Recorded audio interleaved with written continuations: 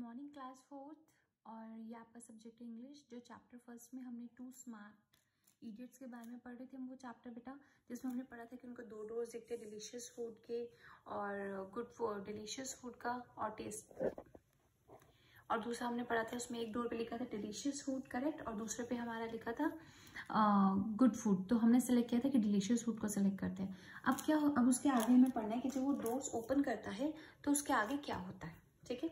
अब वो delicious food वाला वो वो जो दो ब्रदर्स थे, जो स्मार्ट फ्रेंड्स थे, जो दो फ्रेंड्स थे, इन्होंने जब उसमें एंटर करा डिलीशियस फ़ूड में तो वो आगे जैसे कॉरिडोर में जाते उन्हें और दो डोर्स दिखाई देते हैं।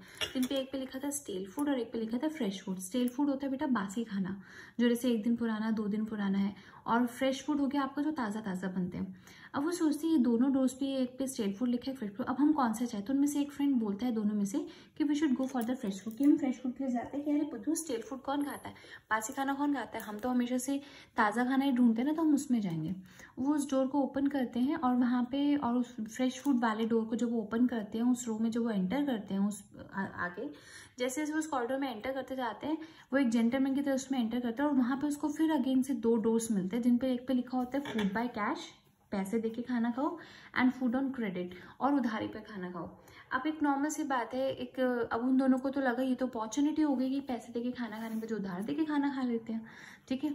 तो उनका जो, उसका जो फ्रेंड होता है, इन दोनों फ्रेंड में से एक फ्रेंड जो बड़ी तेज़ी से हंसता है, हा हा हा, और वो बोलता है कि, अरे बुद्धू, कौन होगा जो कैश पैसे देके खाना खाना चाहेगा?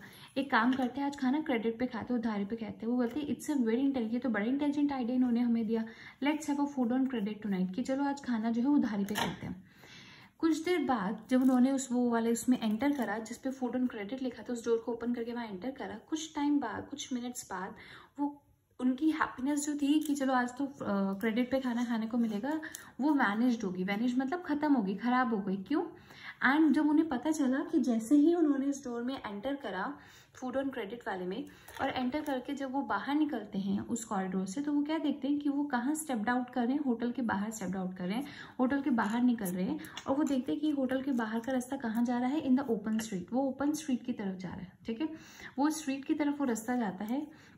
जब वो एंड देन फिर दे जो जो दोनों फ्रेंड्स होते थे टेकन बैक वो जब वापस मुड़ते हैं टर्न लेते हैं तो वो देखते हैं कि वो होटल के बाहर वाले बैक साइड का जो डोर था, उसके साइड पे खड़े थे, जहाँ लिखा था एग्जिट डोर जिस पर एग्जिट डोर लिखा था, और उसके साथ एक वर्ड्स भी मार्क और हुए हुए थे दैट इज़ नो एंट्री यानी कि जो लोग उधार पे खाना खाना चाहते हैं, उनके लिए हमारे होटल में कोई जगह नहीं है नो एंट्री का बोर्ड वहाँ पे साथ में लगा हुआ था।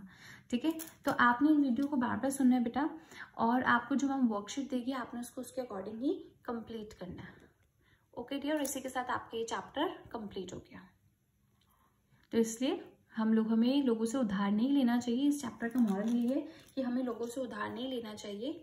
हमें कोशिश करनी चाहिए कि हम अपनी ज़्यादा से चीज़ों को ट्रांजेक्शन को कैश देके एक बार में अपनी चीज़ों को, जो भी आप कुछ पे, आपको करना है, वो करके क्लियर करके रखें। बहुत ज़्यादा क्रेडिट अगर आप बहुत लेने जाते तो वो आपके लिए बहुत नुकसान देता है।